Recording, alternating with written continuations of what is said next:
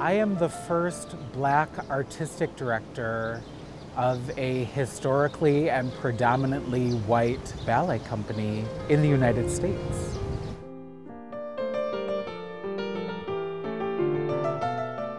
What sets Pittsburgh Ballet Theater apart from other ballet companies is, I think, our commitment to inclusion, diversity, equity, and access.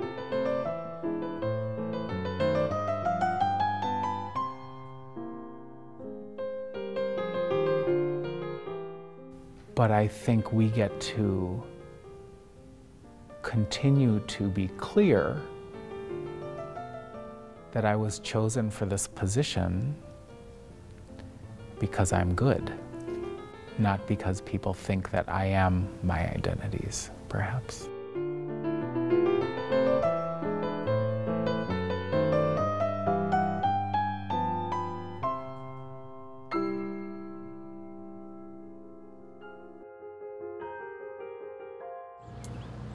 I've been with Pittsburgh Ballet Theater since 2015 and I have had the pleasure of working with three artistic directors, Terrence Orr, Susan Jaffe, and now Adam McKinney. Adam McKinney has such a unique perspective and a vastly different background from Susan and Terry that will be quite an asset to Pittsburgh Ballet Theater going into the future. I think from an artistic perspective, I'm noticing that when we treat people well, that when we raise the bar high, pun intended, that people and the artists surpass that bar. Being a ballet dancer takes so much energy and so much of your life is centered around the work. We have such a short span of time that we get to do this. We're athletes and our bodies only stay healthy for so long. He lets us develop mentally some days if our bodies need a little rest day. He's very understanding of that, which I appreciate. It's taking care of our bodies, it's elongating our careers. Collaboration between a dancers and the artist director, that's like a kind of unique and it's very nice to have. In the rehearsal with us, he's like, what do you want? What do you need? All this supportiveness. That's a principal dancer. It means for me having a vision for the organization, but also inviting others to be in on envisioning what they want the organization to be like. That means looking deeply inside and identifying who we are and looking back at what we've done and looking now at who we are and who we want to be seven generations ahead into the future. And for me, that means ensuring that every single person in Pittsburgh knows that they belong at PBT.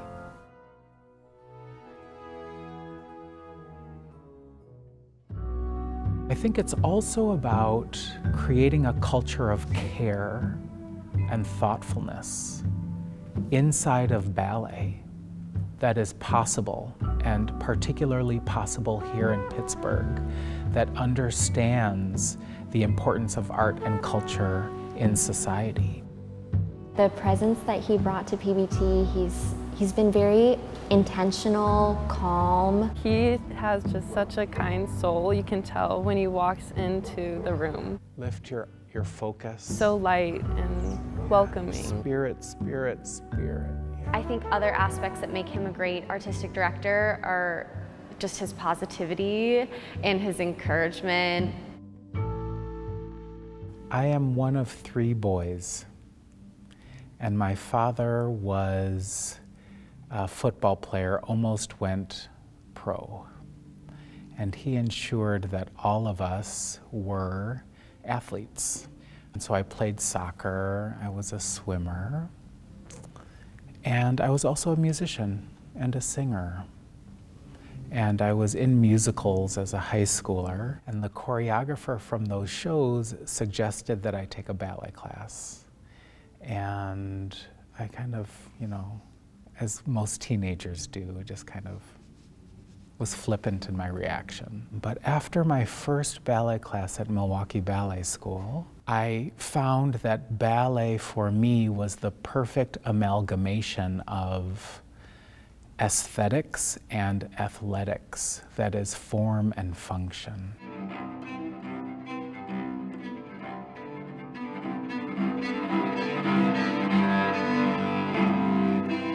I began to do more research into dance as a healing catalyst. It's looked like working with people who survived the 1994 genocide against the Tutsi in Rwanda.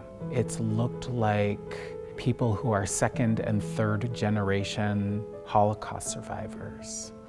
It's looked like going back to the door of no return in Ouidah, Benin, West Africa. That is the location from which enslaved Africans were sent and the last place, the last door through which they moved into what's known as the Maafa, that is the transatlantic slave trade, and using dance as an opportunity to return to trauma and to replace old memories with new ones.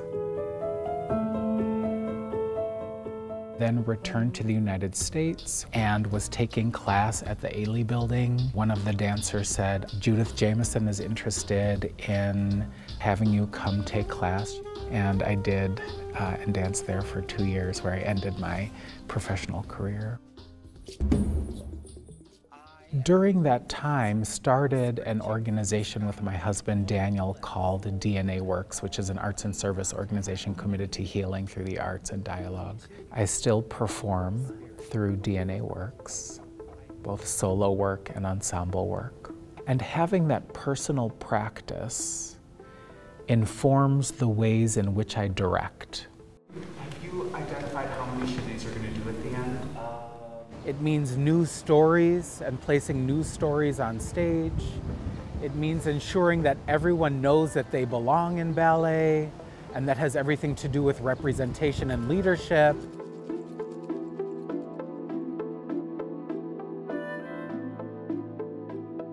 How ballet can bring us together as a community. Under my leadership, we will create more opportunities to be in public schools, to be at senior centers, to be in hospitals, as a way to demystify and build community, and to ensure that people have access to this beautiful, life changing force that is ballet.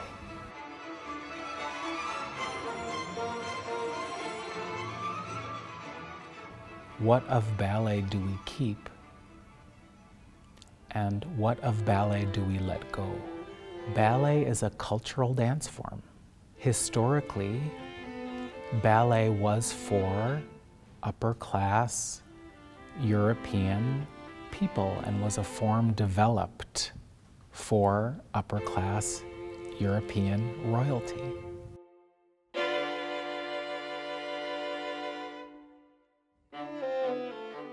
And now we have an opportunity to ensure that ballet and what we put on stage and how we do it is representative of who we are as a society.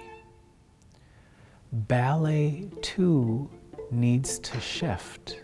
Sometimes with classical ballet, because it's so structured and there's such a formula for how to do it technically, it can sometimes be a little bit stale. I mean, I feel that Adam is inviting us to sort of bring ourselves into the process and and bring a little bit more of almost like our contemporary side within the classical vernacular so that there's movement and there's storytelling on top of this beautiful and precise technique.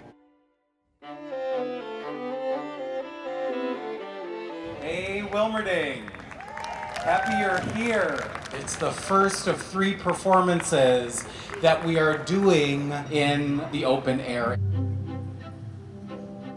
More things like this will be really great for the community and I think people will love it and we'll be able to reach people that don't necessarily get to come in and see us at the Benedum.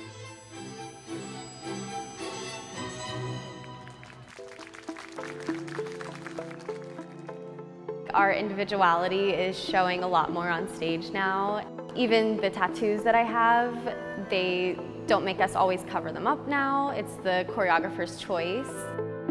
We're not these perfect little cake toppers that go on stage and you can't touch them or talk to them. You don't get to hear our voices, but there are a lot of incredible humans in this space, and it would be great for more of the community to come in and get to know us.